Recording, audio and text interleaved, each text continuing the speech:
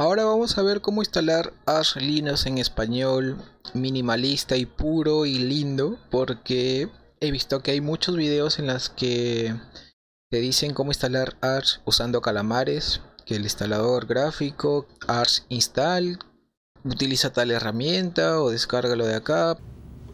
¡No, Dios, por favor, no! ¡No! ¡No! ¡No! Pero nadie entiende lo que se está ejecutando internamente. Entonces este video va direccionado a esas personas que quieren aprender a entender cómo va su sistema operativo, cómo es lo que inicia desde cero. Y esta explicación creo que es muy Va a ser un poco avanzada, media. Si eres principiante y tienes ganas de aprender, creo que este video también sería de mucha utilidad. Entonces lo primero que tenemos que es descargar la ISO para poder iniciar nuestro sistema operativo, ya sea en un gestor de máquinas como VirtualBox, MV no sé qué, que era para la otra que era privativo, o usando Kemo, que también le tenemos acá cómo instalar Kemo. En este caso en la página nos brindan que podemos descargar el torrent lo más recomendado es esto Victor. Podemos descargar aquí donde dice torrent en la versión 0.4 porque estamos en el mes 4 y todos los meses se va a ir actualizando. Esto no tiene nada que ver. Si tú descargaste una ISO del año pasado como te dicen acá tú puedes actualizar tu live haciendo ejecutando este comando con pacman-s y u y ya tienes tu live actualizada. Lo siguiente es descargarlo desde la misma página pues podríamos descargar algún reflector, bueno, un, espejo de descarga que se acerque más a tu país. En mi caso yo estoy en Perú, tengo Chile y tengo uno que se acerca que es de Ecuador. En Ecuador podría seleccionar este y acá dice la ISO y el tamaño que tiene. Yo podría seleccionar y me va a descargar la ISO. Lo he descargado por torrent. Acá está el torrent. He utilizado transmisión para descargarlo ya descargó todo completa la ISO. Y antes de llegar a esto, yo tengo una página en la que estaba escribiendo y tengo acá cómo instalar Arch Linux tanto para BIOS y tanto para UEFI. Hay algo que cabe mencionar para las personas que no saben qué es BIOS y qué es UEFI. El sistema BIOS Legacy y el sistema UEFI UEFI no es más que un pequeño sistema, es la primera capa para iniciar nuestro sistema operativo. Es un firmware, como lo menciona acá. Es algo que ya viene dentro de nuestra placa madre. Entonces, bien podemos trabajar con UEFI o BIOS y trabajar con uno de ellos tiene sus beneficios y sus ventajas y desventajas. Pero hay placas que aceptan tanto UEFI tanto Legacy, o sea, tanto BIOS Legacy, tanto UEFI. Ahora, esta limitante te lo da tu placa madre. La placa madre es la que decide, no, esta placa solamente va a trabajar con UEFI y esta placa solamente va a trabajar con Legacy. Depende mucho de tu placa o el modelo y el año en la que compras tu placa madre. En placas modernas como ahora se trabaja mucho UEFI y tiene muchas ventajas. Como en sistemas UEFI nos brinda o bueno le asigna una tabla de partición llamada GPT que trae sus ventajas también y en BIOS Legacy le asigna una tabla de partición llamada MBR o también llamada 2 que BIOS Legacy trabaja solamente en MBR y UEFI trabaja en con discos de GPT tiene sus ventajas como en UEFI con GPT tenemos 128 particiones primarias, el arranque también es súper más veloz que BIOS Legacy y su partición de arranque debe ser formateada en FAT32 y también tiene su pequeña ruta. Y en BIOS Legacy pues solamente nos permite 4 particiones y el resto son extendidas, o sea las tres primeras son primarias, tres primeras son primarias y la cuarta que nos queda ya son las extendidas, o sea, son las que van a venir abajo y podemos agregar muchas más particiones más. Aquí no es necesario, pero también se puede hacer una partición de arranque como las de UEFI, que ya lo vamos a explicar acá en este ejemplo. Como ven, acá les he puesto un ejemplo que con este comando de fdix-l acá nos dice el tipo de etiqueta que utiliza para BIOS Legacy es 2, que es MBR. Y para cuando se trata de un disco o un inicio de UEFI, dice que la etiqueta del disco es GPT. Habiendo explicado ya el arranque, ya sea para BIOS Legacy o tanto para UEFI o EFI, tenemos que saber cómo se llama la ruta de nuestros discos y diferenciarlo de las particiones. En una ruta del disco puede ser guion DEP, guion SDA. Esto ya funciona tanto para los discos mecánicos o los discos sólidos. Solamente cambia la letra como A B, C. Así se cambia el tipo de ruta de discos SDA, SDAB, SDC. Y cuando se trata de NV, los discos pequeños y más rápidos, también acá está el formato NVM0N1, disco 1, y puedes tener otro que disco, disco 2, N2, N1, N3, y aquí cambia ya los números. Cuando se trata de una SD card, una tarjeta SD sería K0, K1, K2 y así. Lo más común es esto, SDA, SDAB, SDAC. Ahora en las temas las particiones como vemos, SDA. Aquí solamente se le agrega un número, por ejemplo SDA1, SDA2, SDA3. Es la ruta de las particiones, así serían los ejemplos de las particiones y así serían los ejemplos de los discos. Ahora en la estructura de Linux podemos trabajar, nos crean estas siguientes carpetas que básicamente lo que tenemos que concentrarnos es en el book. Aquí van a tener los archivos de arranque para nuestro sistema operativo y luego tenemos la carpeta home que dentro de home están ahí abajo todos los usuarios. Creo que esta misma estructura se, se practica en un sistema Android. Una vez que ya descargaron su ISO, ustedes pueden ejecutar su máquina virtual con la ISO montada en la que te dicen cómo debes montar o iniciar tu VirtualBox o MV o Kemo con la ISO de Arch. Y también puedes ustedes grabar la ISO de Arch en una USB y yo te recomendaría si es que estás en un sistema Windows o Linux trabajar con Balena Etcher para introducir nuestra ISO a nuestro USB o SD card y es muy sencillo utilizarlo simplemente selecciona la imagen seleccionas el disco y pum le das a iniciar en Balena Etcher trabaja con portables. Si estás en Windows, trabajas con una versión portable, así que no necesitas instalarlo, solamente lo descargas y lo ejecutas. Igual en Linux trabaja con el app image. Este es el app image de Balena Etcher que lo descargas y ya lo ejecutas. Simplemente es un ejecutable. Funciona para todo tipo de sistema operativo, para Mac, Windows y Linux. Yo en este caso estoy iniciando Kemu y como pueden ver nos da las opciones para iniciar directamente el disco duro o seleccionar la ISO que está en un CD. La primera diferencia que pueden notar ustedes cuando inician su ISO o bueno su CD o su USB booteable es que cuando se trata de sistemas BIOS Legacy nos sale una imagen a colores y esto como lo ven en pantalla. Cuando se trata de un sistema UEFI nos brinda una pantalla oscura con letras blancas. Esa es la primera diferencia que podemos notar. Vamos a iniciar con la primera opción que nos da.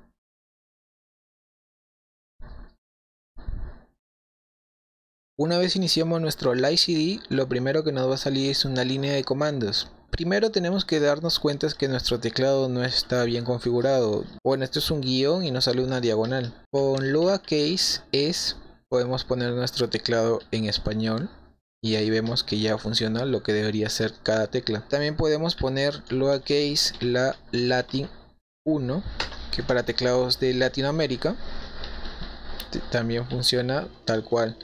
Y si ustedes tienen teclado americano, solamente sería lowercase us. Ahora, ya tenemos nuestro teclado en español, ahora procedemos a ponerlo en español nuestro sistema, porque si nosotros ejecutamos un Pacman SI, ahí dice sincronizando base de datos, y todo como podemos ver está en inglés.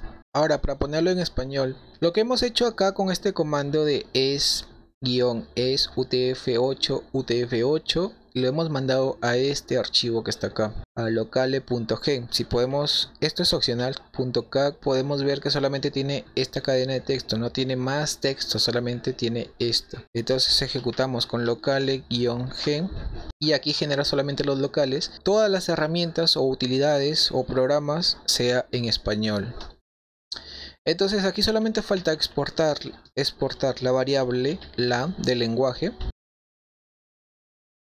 Ahora pues, si podemos ejecutar ahorita otra vez actualizar la base de datos, nos dice sincronizando la base de datos en español. Todo está en español. Y ya podemos trabajar bien con los particionadores que nos brinda Arch Linux. Como ya lo había mencionado al inicio, tenemos una diferencia hasta ahora que BIOS Legacy nos sale con una imagen a colores y UEFI nos sale una imagen con fondo negro. La segunda diferencia que podemos hacer si es que estamos en un sistema BIOS Legacy o UEFI, en este caso estoy ahorita, actualmente estoy en un sistema BIOS Legacy, simplemente hacemos un listado así. Me dice que no existe ningún tipo de archivo o directorio que contenga esta carpeta. Entonces, esta es la segunda diferencia, que en un sistema BIOS Legacy no, no vamos a tener archivos de FIBARS. En un sistema de UEFI, si volvemos a ejecutar este comando, como pueden ver, nos salen todos los archivos que son de los FIBARs. Estos archivos pertenecen al arranque de EFI. Esa es la segunda diferencia en la que podemos mencionar que si tenemos BIOS Legacy o EFI. Ahora, para confirmar si es que estamos recibiendo internet correctamente, vamos a hacer un ping C3 que va a dar tres señales a www.google.com y deberíamos tener respuesta de ese pin. Ahí como ven nos dio tres resultados y efectivamente tenemos internet. Ahora en el caso que ustedes tuvieran conexión vía Wi-Fi, yo tengo un artículo en la que yo he escrito para poder conectarse vía Wi-Fi. Tengo casi todos los comandos acá, tanto del Network Manager o utilizando IWD, que es lo que te recomienda, que está acá. Incluso ahí nos dice, mira, puedes usar para Wireless usar IWCTL o utilizar MMClip. Podemos utilizar MMClip o IWCTL. Acá están los comandos de IWCTL. También cómo funciona el mclick. Ahora vamos a enlistar nuestros discos con este siguiente comando, con fdisk-l. Aquí podemos ver que tenemos el disco llamado DevVDA de 50 GB y solamente tiene una partición que se llama VDA1. Estas son las particiones y este es el nombre del disco.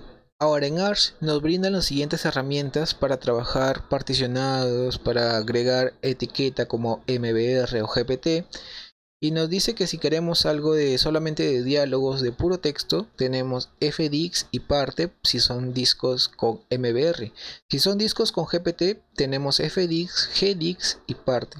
Podemos trabajar con estos para gpt y estos para mbr eh, un clásico ejemplo súper básico fdix de EVDA ahí nos dice qué queremos hacer ya estamos acá. Presionamos m y ahí nos dice si quieres hacer tal cosa, presiona la letra tal. Si quieres hacer esto, presiona la letra. Voy a presionar la letra K para salir. Sale sin guardar los cambios que nos dice acá. Ahora, pseudográficos significa que no va a ser gráfico 100% con botones y esas cosas, pero va a ser algo semigráfico. Y para gráficamente tenemos Gparte, Genome Utility o Partition Manager. Tenemos tanto para MBR y para GPT.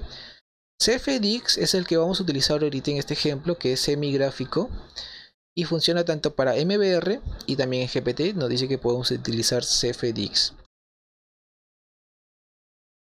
En este caso ahora lo que yo estoy en un sistema BIOS Legacy voy a utilizar CFDX, CFDX y la ruta de nuestro disco que es VDA y podemos entrar y podemos ver que nos dice la etiqueta 2, el la partición VDA1 y las demás opciones que nos dice ya en español todo.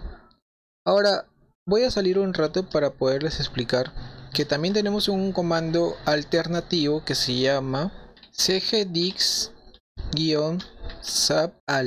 y la ruta de nuestro disco en este caso es VDA. Este comando lo que va a hacer es borrar todo, incluido la tabla de partición que está actualmente, que es MBR2. Con este borramos todo, lo dejamos limpio. Si en el caso tuviéramos particiones o no vamos a querer nada de la información de este disco, de esta lacto o computadora o máquina virtual. En este caso yo quiero borrar todo lo que tenía acá. Y con este comando es posible. Y bueno, ahí borra todo. Si podemos hacer un listado fdix-l para ver, ni siquiera nos sale la etiqueta de la tabla de particiones que teníamos, que salía 2 Ahora está limpio, sin particiones, solamente nos dice el disco que estamos trabajando actualmente. Habíamos dicho anteriormente también que íbamos a trabajar con CFDix, que es un programa semigráfico, CFDix-dev-VDA.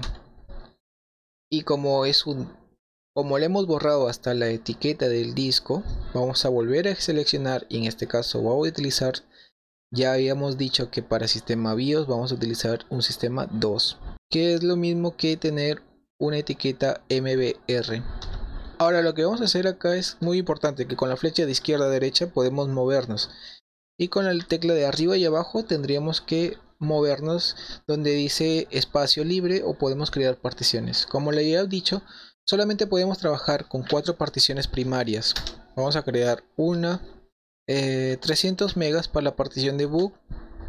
Aquí nos dice primaria o extendida. Voy a poner que sea primaria. Podemos crear otra. Vamos a poner una que sea de 4 gigas, que sea también primaria. Y el resto sería para la partición root y esto. Y ahí tenemos tres particiones primarias. Aparte de esto tenemos que marcar cuál es la partición que va a iniciar, cuál es la partición la que se va a encargar del arranque, del inicio, ¿no? Entonces nos vamos acá arriba y abajo a, la partición VDA1, donde va a estar los archivos de arranque y le vamos a poner acá con la izquierda derecha iniciable. Y listo, sale ya el asterisco donde dice inicio. Y ahora estas 4 GB en tipo debemos movernos donde dice tipo y darle enter y debemos marcar lo que sea Linux Swap Solaris. Y luego de eso podemos escribir, le vamos a dar que sí. Y se creó las particiones, ya se crearon todas las particiones. Podemos salir, vamos a limpiar fdix-l y ahí ya nos salen las particiones VDA1, VDA2, VDA3 con la partición arrancable. Este es en el caso de BIOS Legacy. Ahora ya tenemos estas tres particiones listas con nuestra etiqueta de arranque y nuestro tipo de cuál va a ser Linux Swap. Una vez que ya particionamos correctamente con nuestro CFDX, nuestro particionador semigráfico, hay que darle un formato, hay que formatearla, si no, no funciona ninguno de estos porque no tienen formato. Formato más común X4 MKF X4. Bien le podemos dar una etiqueta con label y acá le podemos poner BIOS o book. Aquí ya depende de ti. Y le voy a poner la primera pues que es VDA1, que es esta partición número 1 de 300 megas. Dice continuar de todas formas S o N, de sí o no. Le dado S y continúo. Voy a limpiar pantalla para que puedan seguir viendo ya tenemos la primera formateada en X4 y ahora falta formatear SWAP L también de label pero esto podemos omitirlo de VDA2 que es la partición número 2 dice es correcto ah estoy escribiendo mal estoy escribiéndolo mal porque es MK swap de VDA2 y listo ahora swap on de EBDA2 que significa swap on, o sea, on de prender. Prendemos la swap y listo. Ahí la tenemos. También funciona swap off, es para apagarla. Pero ya la tenemos encendida, ya la tenemos formateada y ya la tenemos encendida. Ahí estamos bien. Ahora la tercera partición que es nuestro donde va a estar root y donde va a estar home, vamos a darle mkf .x4 aquí podemos ponerle label y VDA3 que es la tercera partición dice es continuar de todas maneras S y listo podemos presionar FDX para poder ver nuestras particiones el ls este es otro siguiente comando que es para ver si es que estamos montados o no y como pueden ver lo único que está activo es la swap que es VDA. Ahora toca el siguiente paso que es montar las particiones. En este caso vamos a hacer mount de EVDA 3 porque de ahí nace root. Ahí es donde va a estar montado en MNT. Ahora, si ustedes quieren averiguar un poco más sobre MNT, no es más que un simple punto de montaje genérico donde van a ir tus particiones o discos o USBs que conectas, siempre se va a montar ahí en MNT. Acá hay algunos ejemplos de cómo se podría utilizar. Bien podemos crear esto o una carpeta o bien se puede automontar y esto lo vamos a automontar automáticamente gracias al archivo de fstab. Ahorita lo estamos haciendo manualmente, lo estamos montando en esta ruta temporal que se llama MNT y sería ahí pero no acaba ahí recordemos que la diagonal es root entonces ahí tenemos mnt y bueno la diagonal que sería root y podemos ejecutar otra vez lsblk y ahí tenemos que EBDA3 ya está montado. Faltaría montar la partición de book pero como no tenemos nada en mnt tenemos que crear la carpeta de book. Entonces sería mkdir-p mnt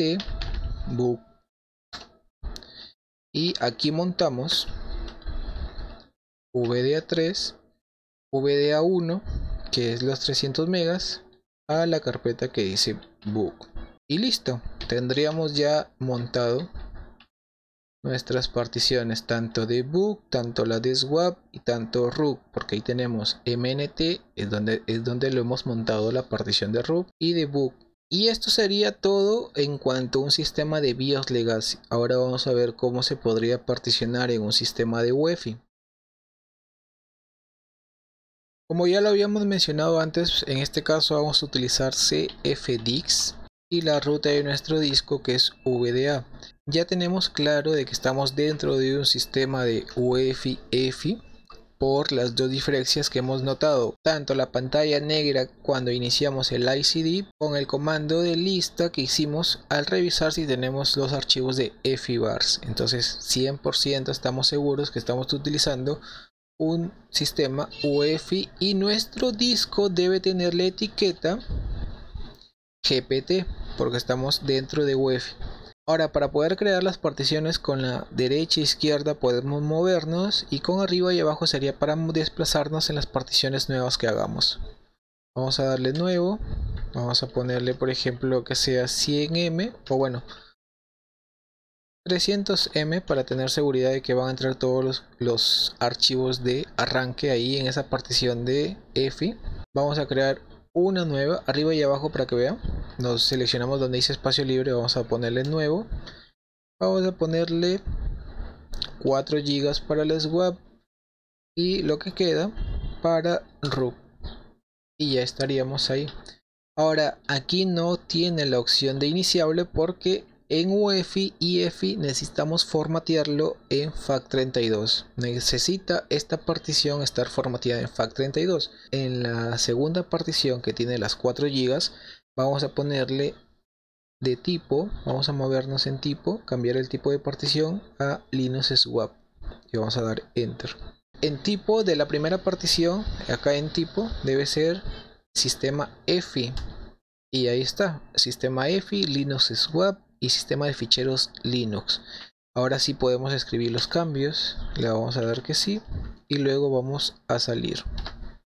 Vamos a limpiar pantalla y FDX para ver todo lo que tenemos. Ahí tenemos VDA1, Linux FX, la otra que es la memoria virtual, Linux Swap y el sistema de ficheros Linux donde va a estar nuestra carpeta root y dentro también de root va a estar home y todas las carpetas de los ficheros linux. Ahora toca darle un formato para cada uno. Hay que formatearlas y hay que montarlas.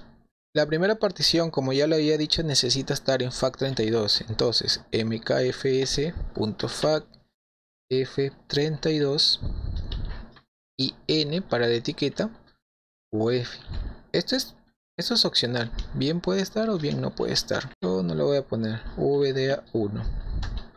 Y listo, se formateó en FAT32 la VDA1. que sigue? La VDA2, que sería con MK Swap de eh, VDA2, la segunda partición. Y listo, se formateó. Ahora con Swap On, activamos la Swap. También funciona con Swap Off un es on y otro es off para activar o desactivar. Y bueno, nos quedaría la última partición que sería MKFS y el formato X4.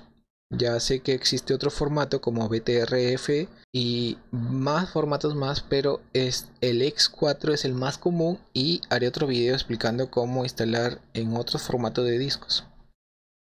Y eh, ahorita vamos a utilizar X4 diagonal V de A3 porque es la partición 3 y le vamos a dar que S que sí Una vez que ya tienen formato, o sea, ya están formateadas todas las particiones, toca montar las particiones. Y acá iniciamos montando la partición de root.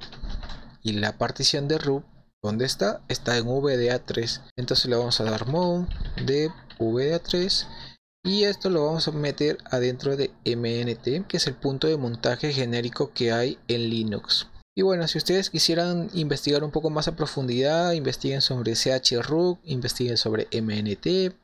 Básicamente todos los puntos de montajes donde puedas poner tanto para discos, UCBs o CDs o cosas así van a ir en MNT. Ya montamos RUC, ahora toca montar el sistema EFI, pero como no hay nada en MNT, no tenemos nada, debemos crear una carpeta que se llama mkdir.p para poder omitir carpetas que no están hechas porque si no tendríamos que crear una por una entonces mnt book f. Ahora si hacemos un ls ya tenemos la carpeta book. Y bueno solamente toca montar así como le hemos montado root vamos a ponerle la partición 1 y esto va a estar en book y f. Ahí va a estar montada la partición número 1 esta ruta es muy importante que se la aprendan para más adelante cuando vamos a instalar group, que esto también cambia. Y eso sería todo en un tema de sistemas UEFI.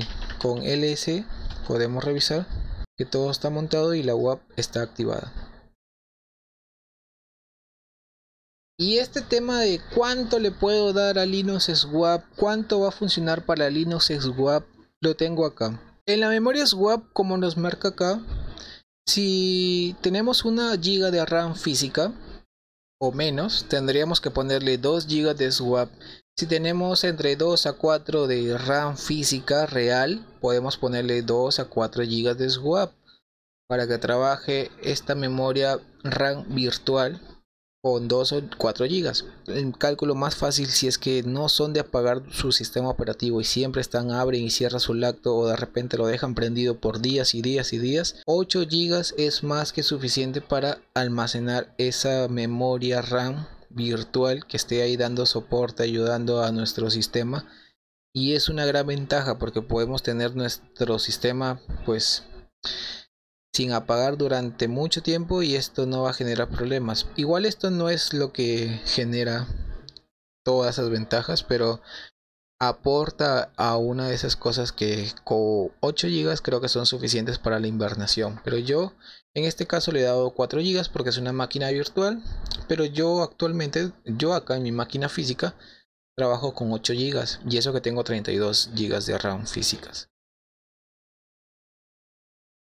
Ahora, ya teniendo todo esto particionado y formateado, porque ya le hemos dado un formato, que en este caso el formato está en X4, vamos a instalar ya nuestro sistema base, que es Paxtrack. Con Paxtrack es un script, es un programa que viene dentro del ICD y esto se va a instalar, todo lo que hagamos se va a instalar dentro del punto MNT, que está nuestro sistema root ahí montado. Base, base Devel y Nano que es un editor de texto. Aquí se va a instalar todos estos programas que es lo más básico desde base y base Devel. Base Devel que tiene ahí paquetes como sudo y base también tiene paquetes muy esenciales de, del sistema de Arch Linux. Así que voy a pausar un rato y voy a dejar que se instale todo correctamente. Y como vieron ya se instaló todo correctamente.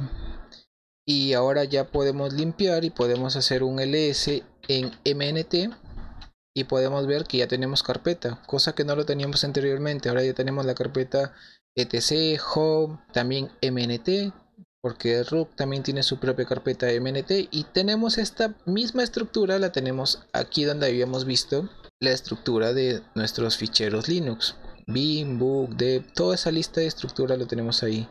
Dentro de home van a estar nuestros usuarios y dentro de book vamos a tener nuestros archivos con un un ls que es un listado mnt book podemos ver que no tenemos nada actualmente y dentro de home podemos ver que tampoco tenemos nada ahora en el siguiente paso vamos a instalar un kernel en este caso voy a instalar el kernel estable que nos viene por defecto en ARS. Aquí como yo les pongo, vea la lista de kernel disponible en ARS. Tenemos 1, 2, 3, 4, 5 tipos de kernels. Linux, Linux Hardener, LTS, RT, SEM y explico cada uno su pequeña descripción y algunas cositas más que se daría de que lean el artículo. Solo vamos a escribir Paxtrax, donde se va a instalar en MNT.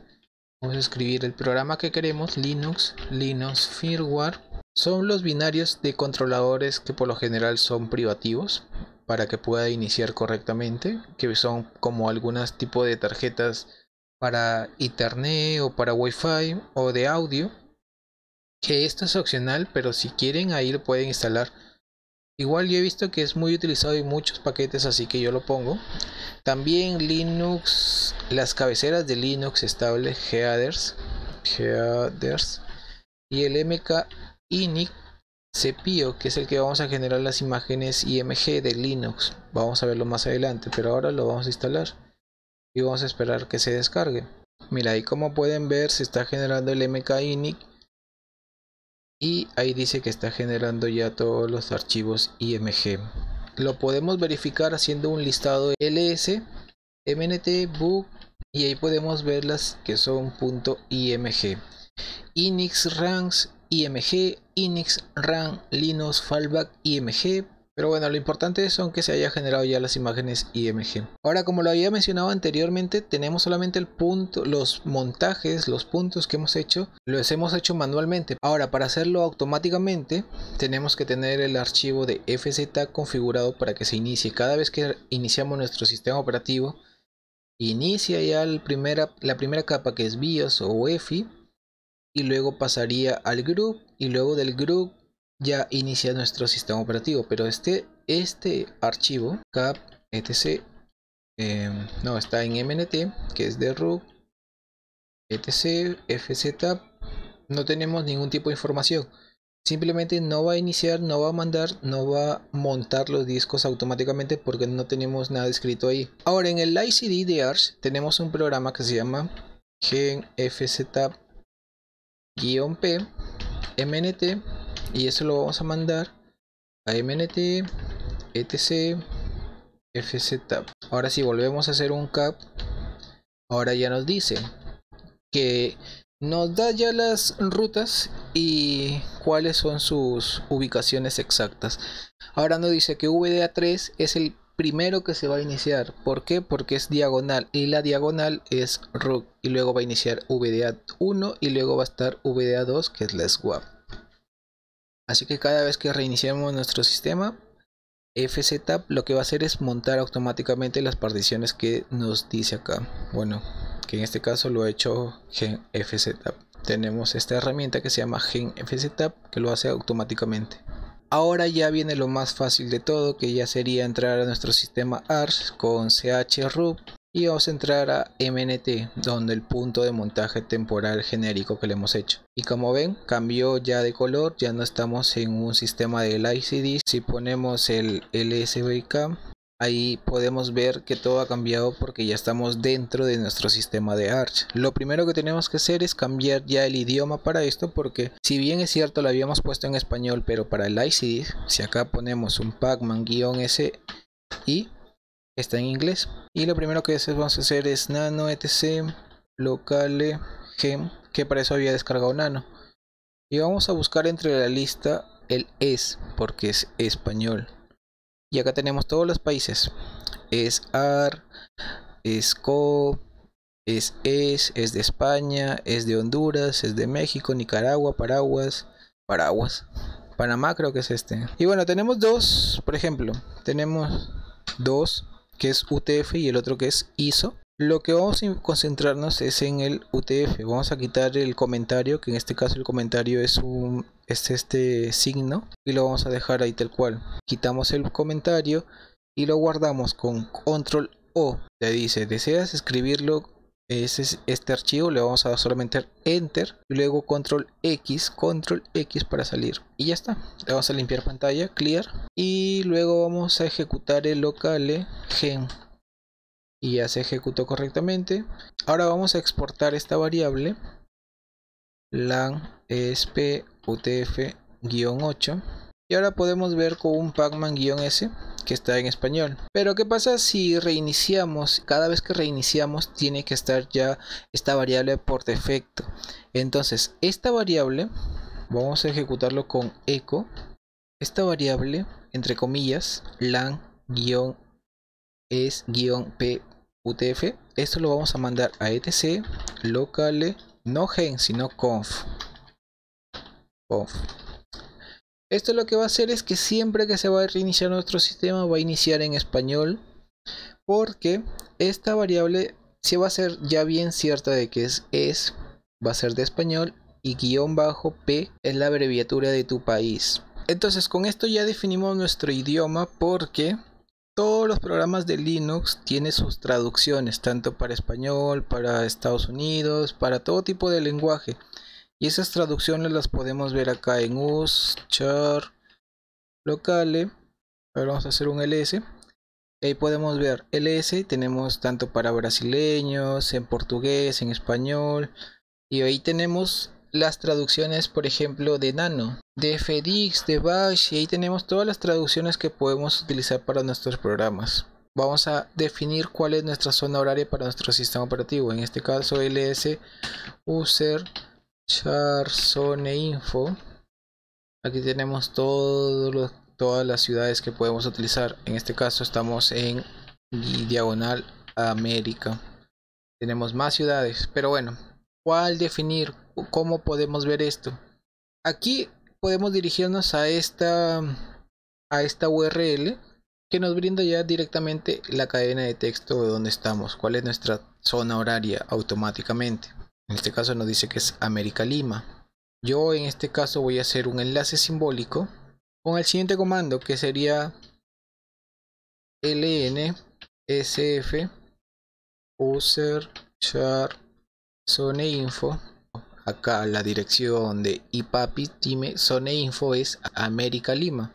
Entonces sería diagonal América Lima. Este lo vamos a mandar a etc local time. Y listo ya estaría la zona horaria definida. Otra cosa que sería instalar cur con pacman-s cur y con esta herramienta cur podemos hacer un cur https lo cual ahí nos votó que dice América Lima. El siguiente comando que sería mucho más fácil habiendo instalado ya cur ln sf user char zone info zone info. Y aquí vamos a ejecutar este comando que sería por y eso donde lo vamos a mandar a etc local time y listo ya está definida nuestra zona horaria manualmente y esto sería automáticamente teniendo instalado este programa que se llama cur. Ahora para poder tener nuestro sistema sincronizado con la hora tanto para nuestro pequeño firmware nuestro primer sistema y nuestro sistema operativo estén sincronizadas las horas con hclock-l sería más que suficiente para que esté sincronizado los relojes ahora para que no estén haciendo case esto siempre que reiniciemos nuestro sistema ejecutamos echo keymap igual es y esto lo vamos a mandar a etc conf y ya está ya estaría definido. Ponemos a hacer un CAC para revisar etcbconsole.conf y ahí tenemos el kmac-s ahora vamos a apresurar un poco más el paso y vamos a definir el nombre de nuestro equipo. Vamos a poner echo nombre de pc nombre de pc y eso lo vamos a mandar a etc osname. Y podemos revisarlo con un CAC etc os name ahí dice nombre de PC o también podríamos utilizar nano pues que sería nano guion etc hostname procedemos a darle una clave a nuestro usuario de administrador nuestro usuario root wd root voy a poner una clave 123 123 y se actualizaron las contraseñas correctamente. Procedemos a ejecutar un usuario nuevo con user add m. Esto es para agregarlo al grupo de users y al grupo de will y esto se va a iniciar este usuario se va a iniciar con la terminal bueno con el shell de Vim bash. Y esto podríamos cambiarlo por ZSH o por fish teniendo instalado este esta shell que vamos a definir. En este caso yo más tengo tengo está instalado bash y voy a ponerle bash. Y el nombre de usuario sería nombre de usuario el nombre de usuario ya le pueden poner ustedes pues cualquier tipo de usuario. Vamos acá a poner una clave para el nombre de usuario que hemos creado. Y acá le hemos puesto que es nombre de usuario. 123 123 y ya estaría.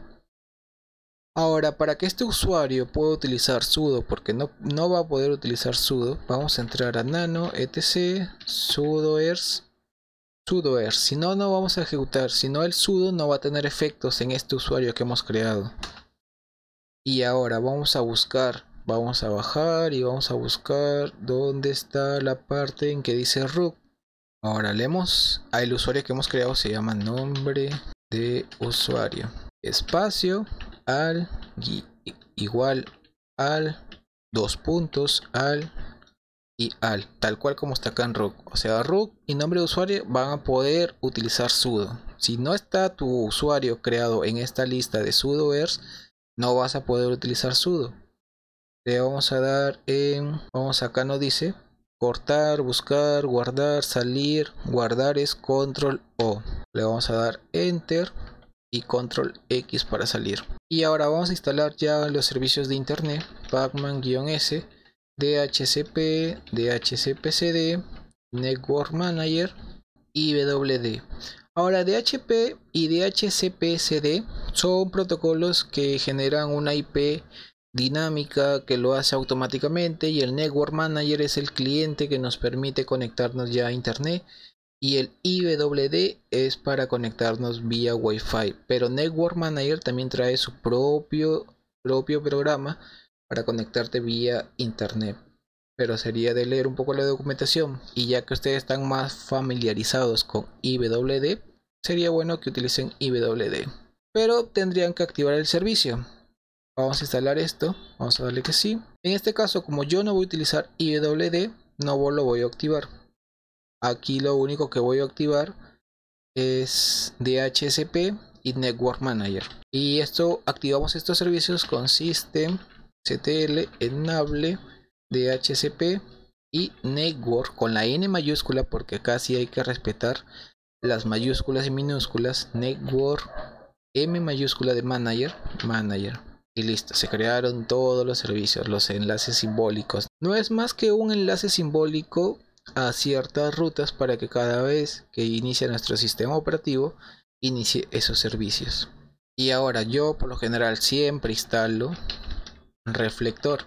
El Reflector no es más que un programa que nos ayuda a tener a los mejores repositorios, listas para poder tener las descargas más rápidas, o sea, ver voces para ver un, más a detalle todo lo que vamos a hacer. La es que sería las que tengan mayor velocidad, o sea, las 10 primeras páginas o espejos o mirrors que tenga ARS, pero que sean las mejores, más rápidas. Y eso lo vamos a definir con SOR rate. O sea, las quiero 10 páginas que tengan la mejor velocidad de descarga y esas 10 páginas se van a guardar en etc pacman-d mirror list aquí se va a ejecutar y como le hemos puesto ver voce vamos a ver en detalle una por una que en primero ahí nos dice carilla vrco 4ST, que sería Fast, Host, Arch Linux, y bueno, serían las 10 primeras, los 10 primeras páginas más rápidas que podemos utilizar para descargar programas de Arch Linux. Ahora vamos a entrar el modo de arranque que sería Group. En Group, aquí es distinto si es que está utilizando BIOS Legacy o UEFI. Ahora, para instalar el group en un sistema UEFI, simplemente revisamos la carpeta de book y tenemos la carpeta EFI ahí. Y tenemos ya las IMG de Linux. Tenemos una que es la INIRANS IMG y el otro que es el fallback el feedback. O está mal pronunciado pero vamos a revisar igual que tenemos en EFI no tenemos nada. Ahora necesitamos instalar EFI o sea necesitamos instalar group en esa carpeta EFI sí o sí. Entonces primero vamos a instalar group y este programa que es necesario para los sistemas EFI que se llama EFIBook MGR y bueno vamos a probar si fuera necesario instalar otro sistema operativo ya que en el sistema de GPT y UEFI podemos tener más de 128 particiones podemos utilizar y es el número máximo que se ha podido contar de particionados puede ser más puede ser menos pero es suficiente para instalar cualquier otro sistema operativo utilizando la misma carpeta de EFI, la misma partición de EFI. Por eso es que yo le he dado 300. O ustedes ya le pueden dar más, pero hasta con 100 megas es suficiente para trabajar. En fin, vamos a instalar esto y vamos a limpiar pantalla porque el siguiente comando para instalar group si es algo complicado y un poco más largo de lo otro. Iniciamos con group install target x86 y el directorio de EFI directory en este caso fue book EFI fue book ah no espérate que tiene que ver igual book EFI y acá solamente book loader loader y de ars aquí está instalando group correctamente no se notificó ningún error porque el directorio como habíamos visto era book EFI que está ahí. Ahora ya tenemos más contenido. Tenemos una carpeta que se llama EFI y tenemos una que se llama ARCH y ahí tenemos el primer archivo. En el caso de que no inicie, porque es muy seguro que no. Bueno, esto depende, depende de tu placa. Yo instalo los dos tipos de EFI, porque uno es para EFI y el otro es para UEFI. El otro sería removable. Aquí ya tendríamos dos arrancadores de EFI, tanto ARCH y tanto BOOK. Bueno, uno es para el sistema EFI y el otro sería para ya el sistema UEFI. Ambos son compatibles, así que es por eso es que hay dos comandos para instalar group. Ahora, en este ejemplo, para instalar group en BIOS Legacy, lo primero que vamos a hacer es hacer un listado de book y como podemos ver tenemos solamente dos imágenes, dos IMG, que son las imágenes de Linux. Aquí solamente vamos a instalar Pacman Group y si queremos a un futuro instalarle otro sistema operativo vamos a instalar OS Prover que nunca hay que cerrar la oportunidad de probar otro sistema operativo en nuestro disco duro. Ahora una vez instalado ya esto está muy fácil, tenemos que identificar cuál es el disco que hemos tenido utilizando, cuál es el disco que hemos montado. En este caso el disco que hemos utilizado, FDX, es VDA, que es el de 50 GB. En este caso vamos a hacer group install y acá es muy sencillo como poner group install y la ruta del disco. Y listo. Si hacemos un ls book ya tenemos una carpeta que se llama group. Si hacemos otra vez ls book group tenemos ya los archivos necesarios para iniciar group. Podemos modificar algunas cosas como el tiempo de espera de group, entrando a nano, etc default, group.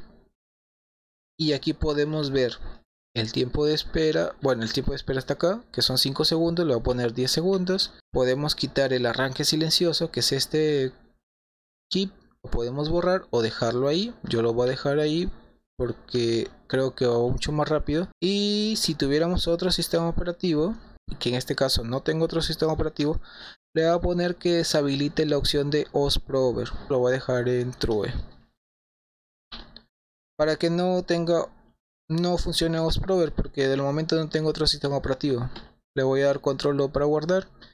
Ya modificamos, modificamos el tiempo que va a iniciar. En este caso solamente le he puesto 10. Y, y el, el arranque silencioso control O para guardar, control X para salir.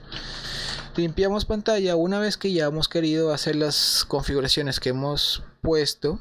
Ahora sí, ya tenemos instalado Group. pero no tenemos el archivo de configuración de group. Ese archivo de configuración lo podemos utilizar con group-mkconfig o la salida va a ser en book group y group.cofg que sería de configuración y ahí como ven sale que todo está hecho. Se creó ya agregó las entradas agregó los archivos img para que arrancara correctamente y listo ya tenemos group instalado.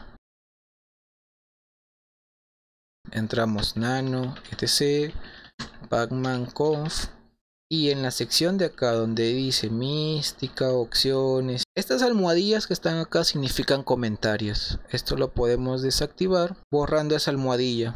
Entonces lo primero que queremos es borrar el tema de color para que tenga colores el Pacman.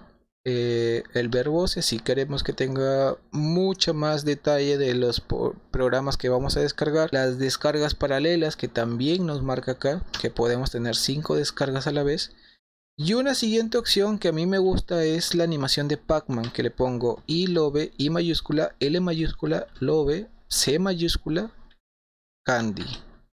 Esa es la que nos permite la animación de Pac-Man comiendo bolitas. Mucho más abajo tenemos los, los repositorios. Yo activo por lo general el repositorio de Multilib y todos los comentarios, que en este caso la almohadilla de Multilib y de Include. Estos dos les quito la almohadilla para que estén funcionando ese repositorio de multilib. Y mucho más abajo nos dicen que podemos agregar repositorios nuevos y acá nos dan un ejemplo de cómo podríamos agregar un repositorio nuevo. Entonces habiendo ya hecho esas configuraciones acá en pacman.conf ya podemos guardarlo con control o enter para escribir eh, los cambios y control x para salir.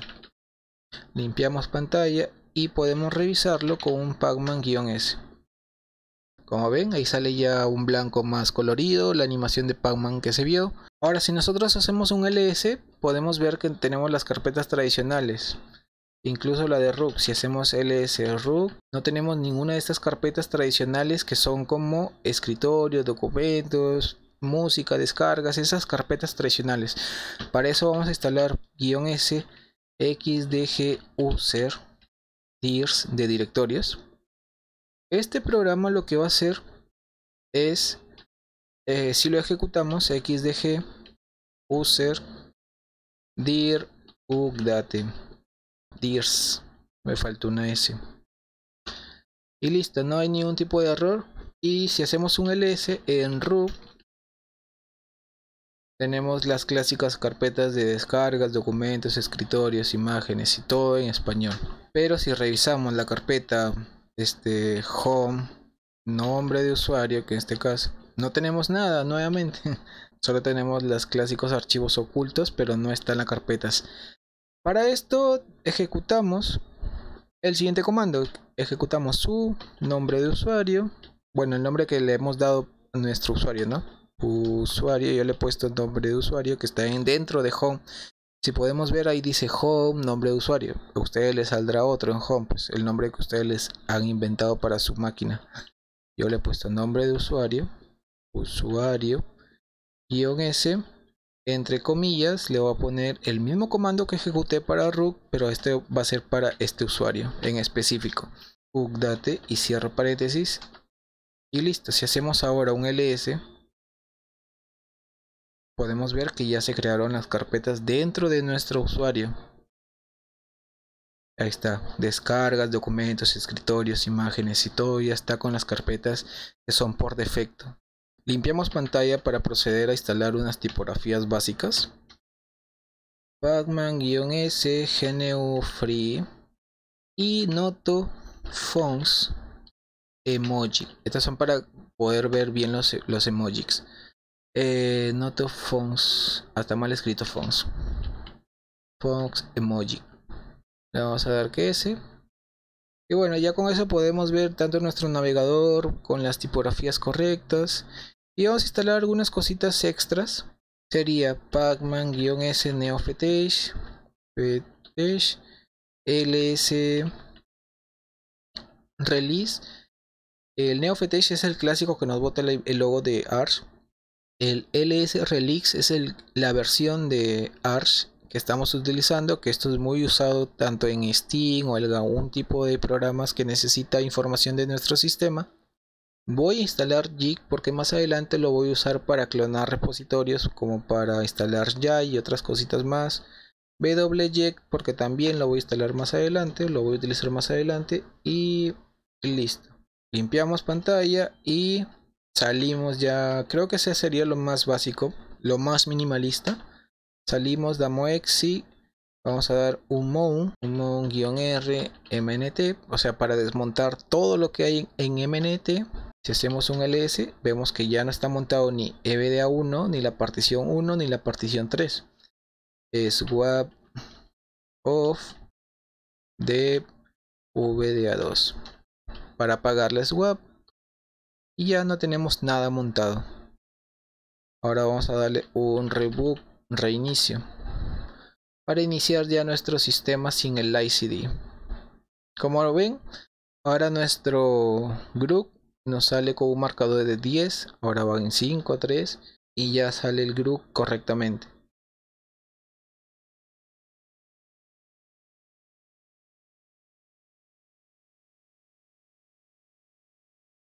y el arranque fue silencioso de group ni siquiera vimos nada como el ok ok ok.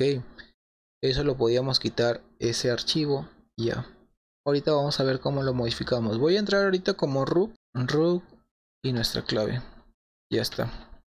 Ahora para quitar ese arranque silencioso podemos hacerle nano etc default group y quitamos esto que dice uy lo vamos a borrar y listo control o enter control x salimos limpiamos y volvemos a generar el archivo. Eso no se olviden nunca que si hacen alguna configuración en el archivo de group tienen que volver a generar este archivo que va en book group group.c ustedes pueden hacer un alias para reducir eso investigar un poco más qué significa alias en linux y es como un comando una abreviatura de todo este comando que pueden escribir. Le voy a dar en rebook para que puedan ver. Le voy a dar enter y ahora ya tenemos el arranque con todos los mensajes que nos dice. Bueno, una vez que ya iniciamos, podemos iniciar como root, la clave de root y podemos hacer un neofetage para que puedan ver cuánto es lo que está consumiendo. Y tenemos que revisar otra vez con ping c3.com solamente para ver si tenemos internet. Y bueno, tenemos internet. Si no tuviéramos internet y otra vez tenemos que conectarnos a un Wi-Fi, ya les dije, podrían utilizar alguna herramienta de Network Manager que la podemos utilizar o pueden revisar cómo conectarse a Wi-Fi en Arch Linux, que bien podemos utilizar el NM, que es de Network Manager y ya lo tenemos activo y acá están los comandos o podemos utilizar IWD que también nos dice cómo activar el servicio y cómo conectarnos. No hay pretexto para poder conectarse vía Wi-Fi una vez que reiniciamos nuestro Arch Linux. Bueno, antes de instalar un entorno gráfico o un gestor de ventanas, tenemos que instalar un controlador de video y tenemos que instalar un controlador de audio. En el tema de controlador de video, he hecho tres videos acá en este canal explicando si es que tuvieras Intel, si tuviéramos AMD o si tuviéramos una gráfica Nvidia. Eso yo lo voy a dejar ahorita opcional porque como estoy en una máquina virtual no es necesario instalar un controlador de video, pero sí existen controladores genéricos que son que son los siguientes programas que vamos a limpiar pantalla y vamos a hacer pacman-s xf86 video fdep estos dos programas son controladores gráficos genéricos que pueden servir para máquinas virtuales. Estos dos son los que si no funcionan con ni con Intel, ni con AMD, ni con Nvidia, esto sí o sí vas a tener video. Pero ya les digo, vayan a revisar esos videos que yo tengo donde sale las tres explicaciones que yo he dado, tanto para Intel, tanto para AMD y tanto para Nvidia, así que son 100% confiables. Yo he tenido ya experiencia en estos tres tipos de chip gráficos y les he investigado y les he hecho un video e incluso he hecho e incluso yo he hecho esta página en la que yo les explico y he estado escribiendo para darles a conocer cuáles serían los comandos adecuados para cada gráfica. Ahora, dejando de lado el controlador gráfico, tenemos el controlador de audio. Tenemos cuatro sistemas de audio. Tenemos Alsa, tenemos Jack, tenemos Pulse Audio, tenemos Firewire. En el caso de Alsa, es para algo ya súper minimalista que sería ya para los gestores de los gestores de ventana pero también es necesario en algunos escritorios así que yo te recomendaría que tengas alza sí o sí a esto también podemos tener los cuatro sistemas instalados y podemos utilizar uno otro y otro esto es lo personalizable de Linux que pueden tener alza funciona bien con Firewire alza funciona bien con Pulse Audio y con Jack así que lo primero que tendrían que instalar ha sido alza entonces el comando sería pacman-s alza, alza firmware, alza utils. Y si quisieras algunos plugins extras, sería alza plugins. Le voy a dar enter, enter y se instala automáticamente todo. Como ven no pesa mucho en realidad. Ahora yo entiendo de que Pulse Audio es lo más común para usuario normal, pero está mucho de moda y es por un tema de optimización en la que se utiliza ahora Firewire. Incluso acá en la página que yo le he escrito, tenemos para tanto si quieres con Pulse Audio, también podemos instalar Pavo Control. Pavo Control es esta, este gestor, pero ahora los escritorios ya vienen con su propia interfaz de audio, pero si no lo tuviéramos, Pavo Control es una buena alternativa para controlar el sonido de nuestro audio. Ahora procedemos a instalar un controlador de audio que hemos dicho que va a ser Firewire. Vamos a poner pacman-pipe wire. Y eso sería el comando para poder instalar Firewire. Lo primero que vamos a darle sería Enter. Aquí vamos a darle simplemente Enter y Enter otra vez para que se descargue todo correctamente. Como vieron, viene por defecto ya el Wire Plum, Wire Plumber Aquí esperamos a que se cree todo lo que necesitamos. Y ya está. Había otro creo que instalar el real time de privilegios. A ver si lo instalamos. Real. Y me. Ya, sería real time. Real time. Y eso es lo que estaría faltando. Y listo, ya tendríamos el audio, ya instalamos el video. Ahora nos toca instalar un entorno gráfico o un gestor de ventana. Yo acá tengo, trato de tener una lista pequeña de esto. Los gestores no lo tengo ahorita actualizado de esto, pero sí he publicado algunos de, de escritorios como Genome, como Plasma y XFS y Depin. Eh, por ahí otras cosas más que he instalado, Mate, LXD, LQT. Entonces la idea es ir actualizando un poco esta página pero ya como algo de referencia tienen acá varios escritorios como non, como plasma, como depin, como xfs, como mate, lxd. Si quieren profundizar un poco más sobre esto, visiten la página. Acá les estoy dejando el link. Aquí pueden revisar la wiki de ARS y nos dice la documentación en desktop para los escritorios. Que tenemos acá la lista de oficiales y la lista de no oficiales. Acá tenemos Boogie, Cinnamon y sería cuestión solamente de darle aquí, clic y revisar qué programa necesitamos instalar. Por lo general son los que están marcados en azul para poder instalar. En este caso sería instalar Boogie o Boogie Desktop y algunas aplicaciones más. Ya sería un poco de ir leyendo la documentación y aprender cuáles serían los programas correctos. En GNOME también está acá, pero el tema de GNOME que te manda a GNOME Extra y acá viene demasiados programas extras, o sea, con non esto clásico sería ahí, pero también esto de non viene muy pocos, entonces yo por eso hice una pequeña selección en las que tengo estos de acá para instalar non pero si ustedes quieren instalar otro tipo de escritorio diferente, tenemos acá la documentación y acá en la documentación nos manda a otros pasos. ¿Cuáles son los pasos de instalación? ¿Qué tenemos que, pero qué programa debemos instalar? Igual con los Windows Manager, acá tenemos la lista de oficiales de Windows Manager 2W. La mayoría de gestores de ventana están almacenados en AOR. Tenemos varios tipos de gestores de ventana Acá tenemos BSP, doble, i3. Tanto para los escritorios y tanto para los gestores de ventana necesitan un Display Manager. El Display Manager no es más que el acceso a la computadora que podemos utilizar. En este caso podríamos utilizar HiTDM, GDM. Es este login. Este es un paquete, es un programa. El LightGTD también es otro como este. Incluso yo tengo por acá una personalización que utiliza de Pantheon. Y se puede personalizar, se puede personalizar 100% la IGTDM y tenemos varios la IGTDM gráficos y también tenemos un display manager de consola que también podríamos utilizar por ejemplo este que es así es de terminal o gráficamente entonces, antes de iniciar un escritorio o un gestor de ventanas, necesitamos un display manager para poder ingresar nuestra clave y usuario y recién iniciar nuestro entorno gráfico o nuestro gestor de ventanas.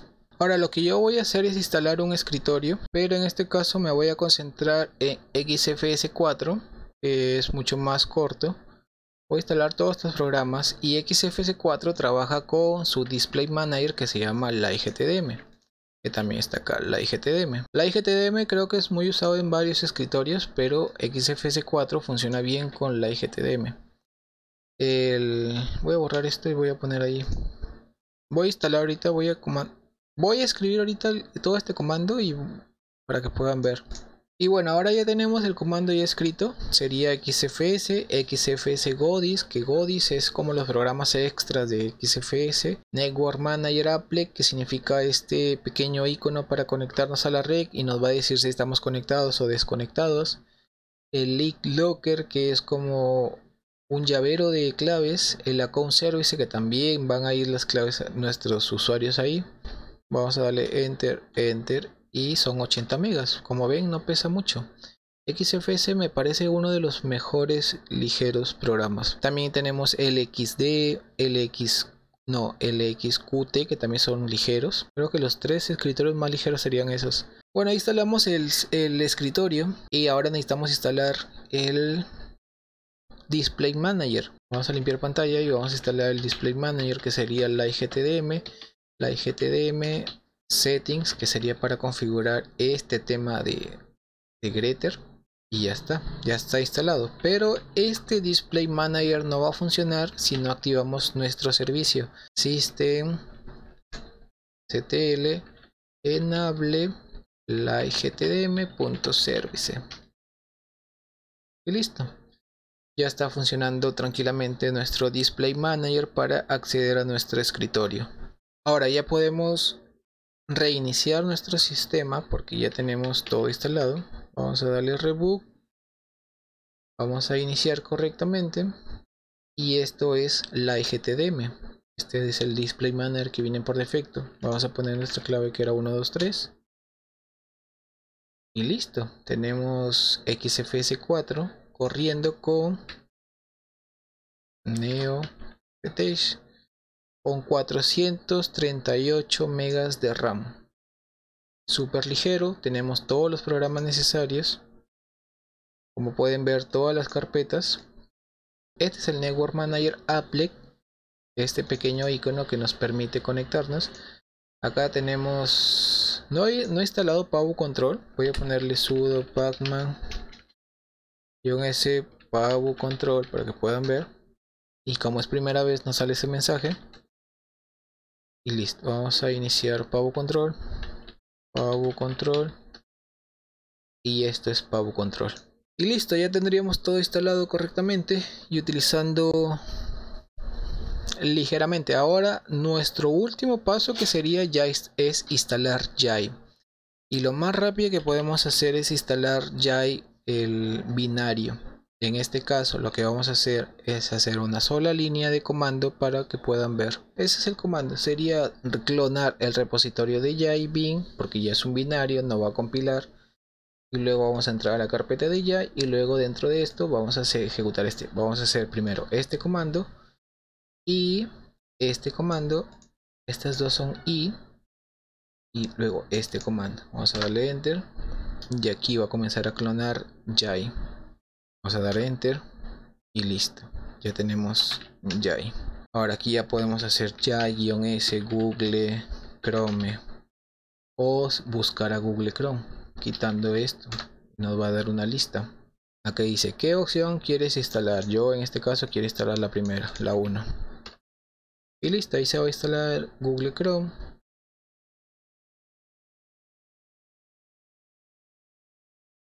aquí le voy a dar enter enter. Enter. Y enter otra vez. Y listo. Ahora ya podemos buscar acá el navegador. Dice no se ha seleccionado ningún tipo de, navegador por defecto y ahí está Google Chrome. Vamos a dar a sector y ya está. Tendremos Google Chrome. Y como pueden ver podemos poner XFS4 personalización personalización y en serio, hay un montón de personalizaciones de XFS4 que ustedes pueden jugar, probar. Y así es, prueba y error, prueba y error hasta que encuentren su personalización correcta y les diga, oye, esto me gusta, con esto me quedo. Y ya está. Seguimos teniendo, no pasan de los 500 megas. Es súper ligero XFS4 y quería tomarle ya una, una captura de pantalla y subirlo a mi página y así iré, actualizando un poco más el tema de acá. Y de los gestores de ventanas vamos a hablar en otro capítulo pero los gestores de ventanas solamente se trata de eso de cómo gestionan las ventanas. Pero de ahí siguen utilizando los mismos programas para todo. Polybar se utiliza en casi todos los gestores de ventana. Rufi o Rofi se utiliza en casi todos los gestores de ventana Icon y otros programas más se utilizan en todos los programas en todos los gestores de ventana. Lo único que cambia es el gestor de ventana. Eso es lo único que cambia. Pero de ahí sigues utilizando los mismos gestores. O sea, sigues utilizando los mismos programas que utilizan los gestores de ventana. Por ejemplo, i3 sí utiliza Polygon. i3 también utiliza Rofi. i3 también utiliza Tuner File o, o Nemo. Todos los programas se utilizan acá. Entonces, lo único que cambia es este gestor gestor de ventana, cambia este, este, porque cada quien tiene sus habilidades de cómo gestionar las ventanas. Pero bueno, eso sería todo. Los dejo. Espero que les haya servido, espero que lo hayan compartido.